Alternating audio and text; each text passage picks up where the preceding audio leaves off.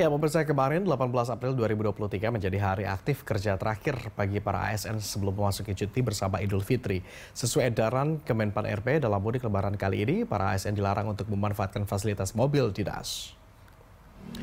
Menyikapi edaran ini, seluruh mobil dinas di lingkungan pemerintahan Kabupaten Sumeneb ikut dikandangkan. Dalam libur cuti bersama ini, seluruh kunci mobil akan disetor ke bagian umum sekretariat daerah. Mobil juga dapat dipinjam setiap saat dengan syarat hanya untuk urusan kedinasan. Sementara itu, cuti bersama ini disambut gembira para ASN. Mereka mengaku memanfaatkan libur panjang ini untuk mudik ke kampung halaman. Terus habis ini mau ditaruh di garasi buat persiapan dikandangkan. Tidak boleh buat mudik. Hmm. Ini kenapa kok harus dicuci lebih dulu? Ya biar bersih pak. Kan mau di standby di kantor, tidak boleh dipakai ke mana-mana.